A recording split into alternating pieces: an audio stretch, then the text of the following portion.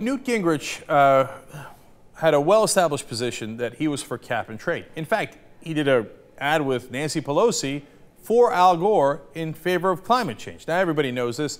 Uh, Gingrich uh, later said it was quote the dumbest thing he's ever done.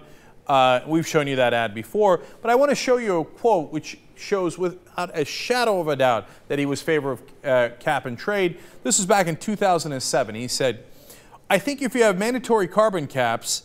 Combined with a trading system, much like we did with sulfur, and if you have a tax incentive program for investing in the solutions, that there's a package there that's very, very good. And frankly, it's something I would strongly support. So clearly in favor of cap and trade. Well, that didn't go over too well with conservatives or with his contributors. He's got a, a group that was raising money uh, from energy companies, and he's not getting any money if he's in favor of cap and trade. Even that was originally a conservative position. Newt was right. Of course, as usual, President Obama adopted a conservative position in cap and trade. But since Obama adopted it, everybody else flipped over and said, oh, cap and trade, we didn't mean that. Yeah, no, that sucks. No, just oil and coal, that's it, right? So what does uh, Newt Gingrich do? He switches positions. In fact, Newt is the guy who, after he did that ad with Pelosi, and realized that's, that that's not where the money's going anymore, did, came up with a slogan of drill baby drill. It was drill here, drill now. Okay? That was Newt Gingrich.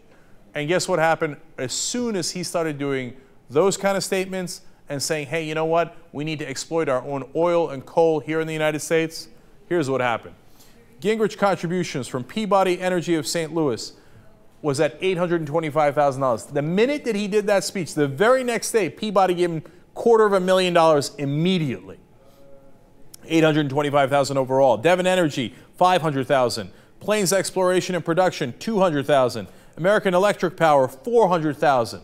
All these contributions, over $2 million in all from the energy companies, the oil and coal companies, when Newt switched positions, said, oh, cap and trade, oh yeah, that's terrible. Oh, totally against it. He went and testified against it and said, yeah, yeah, no, no, the new slogan is drill, baby, drill.